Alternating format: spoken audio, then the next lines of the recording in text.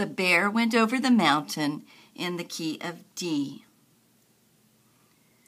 The first pattern is Do, Mi, Re, Mi, Fa, Mi. Do, Mi, Re, Mi, Fa, Mi. Which you'll need to change to make it fit the words. The bear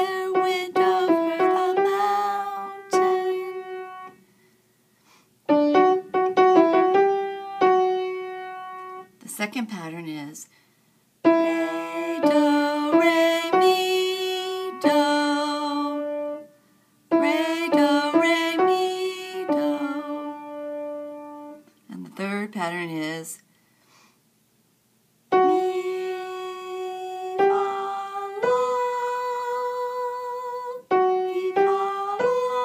Notice how I spread my hand. But you can also just leave it like it is and stretch for the La. And the next pattern is La, So, Fa, Re, Do. To change that to fit the words. So, so, fa. Okay, I'm going to play slowly the first section, and then I use the left hand for the very last part, and I'll add that in. Um, so here we go. The bear went over the mountain. The bear went over the mountain. And then you go back to the first pattern. The bear went over the mountain. Stretch up for the la.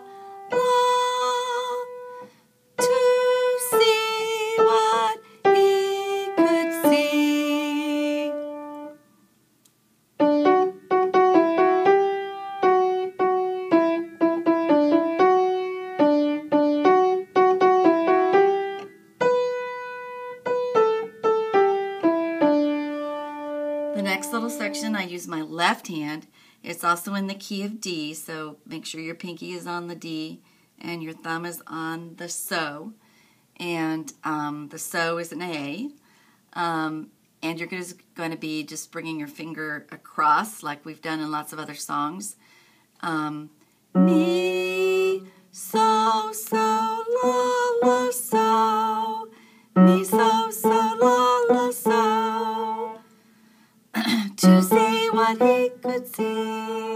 to see what he could see. And then you go back to the beginning. The bear went over the mountain, bear went over the mountain, the bear went over the mountain to see what he could see. Um, now, I would normally play this with the chords, but I'm not sure I can do it since I just had my hand surgery. Um, when you're playing those las, the fas and the las, that's a four chord.